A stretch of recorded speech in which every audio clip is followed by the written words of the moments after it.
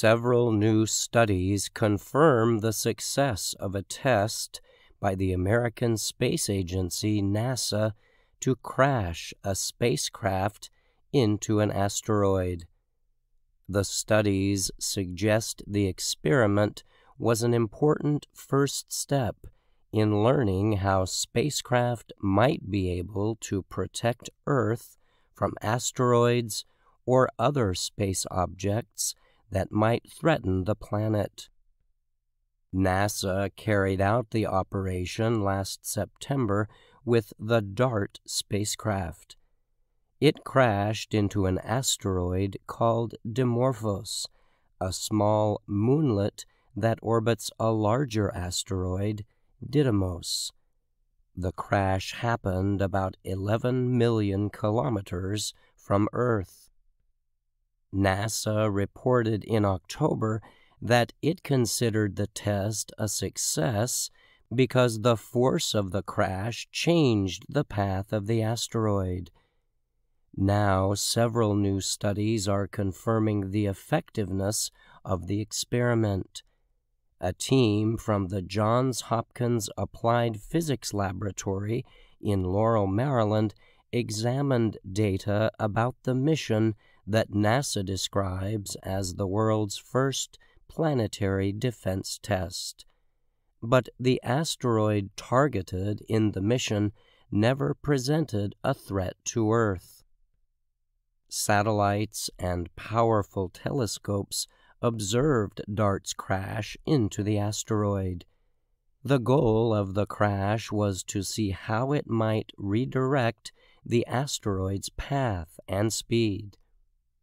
Before the hit, Dimorphos was completing one orbit around Didymos every 11 hours and 55 minutes.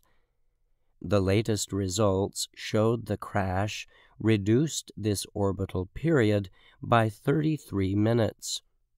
This is one minute more than NASA first announced after examining data from the crash in October. The DART test was phenomenally successful, said planetary scientist Terik Daly of the Johns Hopkins University Applied Physics Laboratory. He added that the experiment proved the impact method could be used to prevent an asteroid from crashing into Earth if one day we had the need to. The studies, which recently appeared in the publication Nature, examined many different elements involved in the crash experiment. These included a major study of the impact itself and looking closely at crash timelines and investigating how the targeted asteroid changed size and shape. The researchers said one of the most important findings was that the asteroid's travel path was not just affected by being struck by the DART spacecraft. The space object's speed and direction were also greatly influenced by materials released by the asteroid after impact. The researchers said the impact by the DART spacecraft led to a recoiling effect of the asteroid. When something recoils, it moves suddenly in reaction to a force. A large amount of material from the asteroid was observed after impact, the team reported. This recoiling effect caused by materials being released into space after the crash gave the object additional momentum, the team reported. The researchers reported the impact caused an immediate slowing in the targeted asteroid's speed. The additional momentum Dimorphos picked up from the release of materials was far greater than the spacecraft impact itself, they added. The researchers noted the experiment showed that such operations can be carried out on asteroids that have not been studied in depth before. What is required, however, is enough warning time to prepare for a specific mission.